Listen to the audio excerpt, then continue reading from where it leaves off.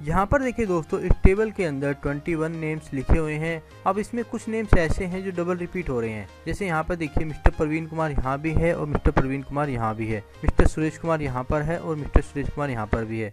तो जो नेम्स यहाँ पर डबल रिपीट हो रहे हैं, मैंने अभी उनको हाईलाइट किया हुआ है ताकि मैं आपको ठीक से समझा सकूँ। तो अभी देखिए इसमें ट्वेंटी नेम्स आपको दिख रहे हैं। अब हमें इसमें से यूनिक नेम्स निकालने हैं। तो देखिए, अगर आपके पास में इस प्रकार का बहुत बड़ा डेटा है और आपको उसमें से डुप्लीकेट एंट्रियाँ अलग करनी है तो उसका शॉर्टकट तरीका ये है कि आप पहले उस कॉलम को इस प्रकार से सिलेक्ट करेंगे।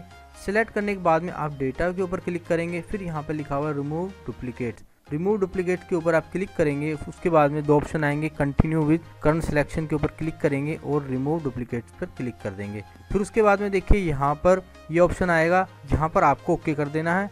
तो देखिए आपके डुप्लीकेट नेम्स यहाँ से अलग हो जाएँगे। तो देखिए तीन duplicates values found and remove लिखा हुआ आ रहा है।